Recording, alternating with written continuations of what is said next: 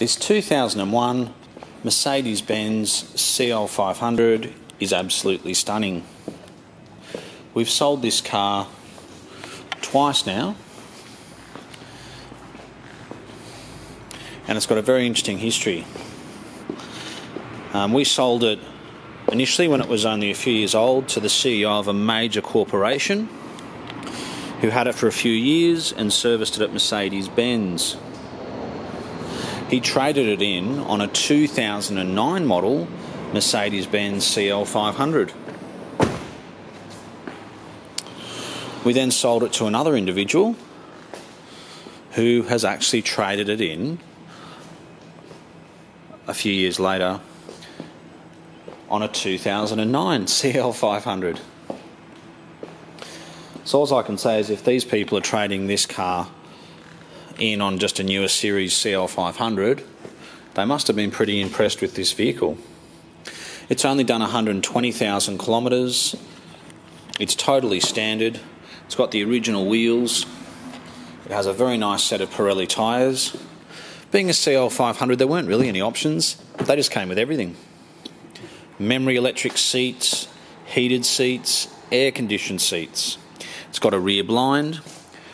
It's got a wood grain steering wheel and pneumatic suspension, which is working perfectly. Xenon headlights. You can seat four adults comfortably. And it really is from every angle. So that's actually just a. I might that just rubs straight off. That's not gutter rash or anything. Just missed it when they were giving it a wipe, but basically if you're looking for a CL500, I'm sure there's a couple around, but I don't think you'll find one as good and genuine as this car. I have driven it, it drives absolutely beautifully. It's quiet, powerful, there's no funny noises or squeaks or knocks in the suspension or anything. It's just a very impressive car.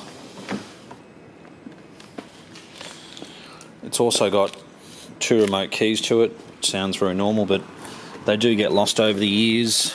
The car's been garaged, so the timber is excellent. We'll just start it up. Steering wheel comes down. The air conditioning's nice and cold. Turn on the air conditioned seat.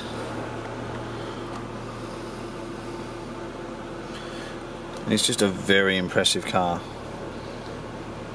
This may sound odd, but it smells like a Mercedes should.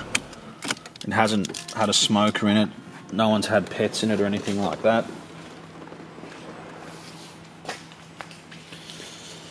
And I think these are incredible value for money. Although you can buy one of these now for about $25,000, it was a $300,000 car when it was new.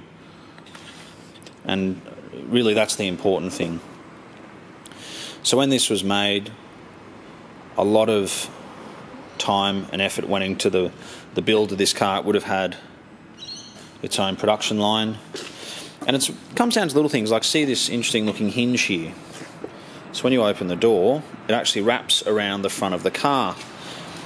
Being a coupe, it does have long doors, but because of this system, what it means is that if you're parked close to someone, you can just pull the door out only a small amount and you can get out without having to open it all the way out. And I'll show you from the front as well. So you can see how it actually overlaps the door there. It's a very clever system.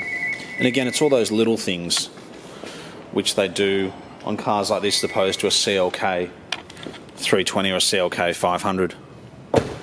They've got things like soft closed doors.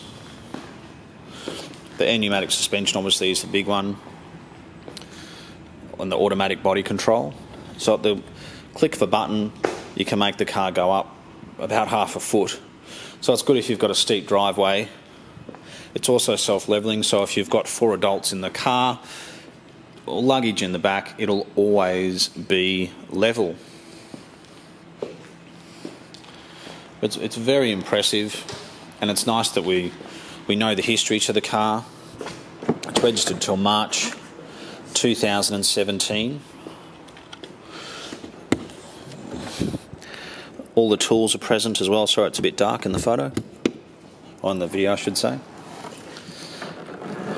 These are our plates, um, so it'll just come with normal premium plates. But I can't actually see any dents, scrapes, scratches, marks on this car at all. It really is very impressive. The leather is also very good, especially for a car with light grey leather interior.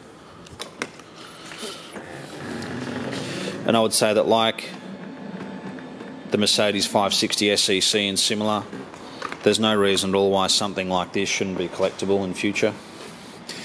And the good thing about buying something like this is you only buy it for 25 odd thousand dollars in good condition. If you keep it in good condition, it's always going to be worth good money.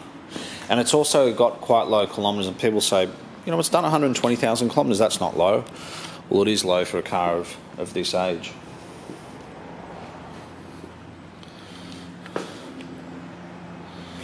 And the good thing about having 120,000 kilometres is that even if you have this car for three or four years, if you're doing 10 or 15,000 kilometres a year, or even 20,000 kilometres a year, it's still going to have less than 200,000 kilometres, which is always good for resale.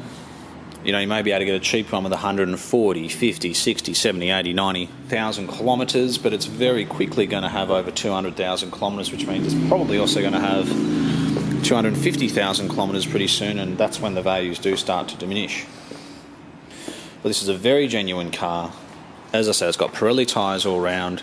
It's got the original wheels on it, since new. And this is a good thing because it does have air pneumatic suspension and it can be expensive if there's an issue. It's good that it's got the standard wheels. Sometimes people put 18, 19, 20, 21, 22 inch wheels on the car and they look lovely.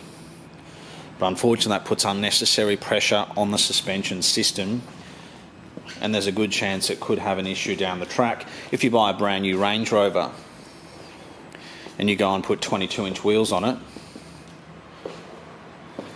it's my understanding that Range Rover will not warrant your suspension.